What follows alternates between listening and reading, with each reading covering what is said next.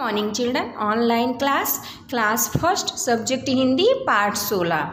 कौवा और लोमड़ी. देखिए, ये आपके बुक में क्या है? एक चित्र कथा दी हुई है. मतलब इसमें देखिए क्या लिखा है कि यह कहानी आपने कई बार सुनी होगी. चित्रों के अनुसार कहानी को हमें क्या करना है? अपने शब्दों में लिखना है।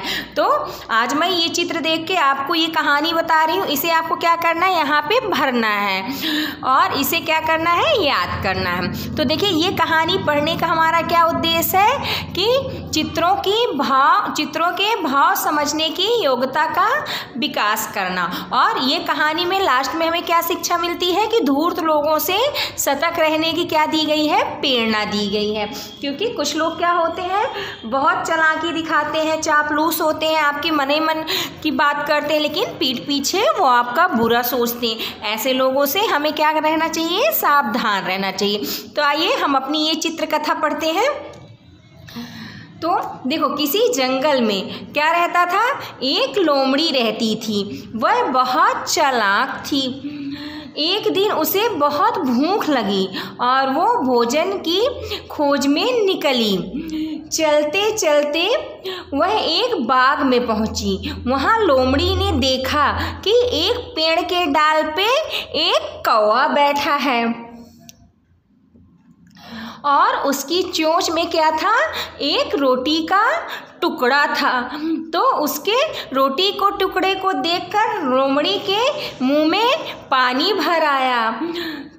फिर उसके बाद क्या हुआ? रोटी का टुकड़ा पाने के लिए वो क्या करने लगी? उपाय सोचने लगी। देखिए, इस चित्र में वो क्या करी? देखिए, यहाँ पे उसका रोटी का टुकड़ा देखकर उसका क्या हुआ? मुँह में पानी आ गया। फिर नेक्स्ट चित्र देखिए अपना ये वाला।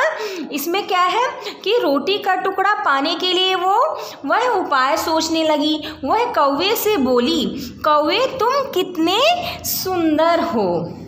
तुम्हारी आवाज़ भी अवश्य ही बहुत मीठी होगी। मैं तुम्हारी मीठी बोली सुनना चाहती हूँ। कौवा लोमड़ी की चापलूसी भरी बातों से बहुत खुश हुआ। उसने जैसे ही बोलने के लिए अपनी चोंच खोली और रोटी का टुकड़ा नीचे धरती पर गिर गया।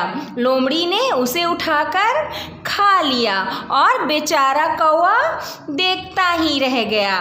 तो देखिए ये हमारी क्या है चित्र कसा कथा है। मैं इसका एक बार और आपको रिवीजन करे दे रही हूँ, जिससे आपको ये याद हो जाए और आप इसे अपनी बुक में लिख सकें। देखिए, किसी जंगल में एक लोमड़ी रहती थी, वह बहुत चालाक थी। एक दिन उसे बहुत भूख लगी, वह भोजन की खोज में निकली। चलते चलते वह एक बाग में पहुँची। वहाँ लोमड़ी ने देखा कि पेड़ की डाल पर एक कौवा बैठा है और उसकी चोंच में रोटी का एक टुकड़ा है। तो लोमड़ी के मुँह में पानी भर आया।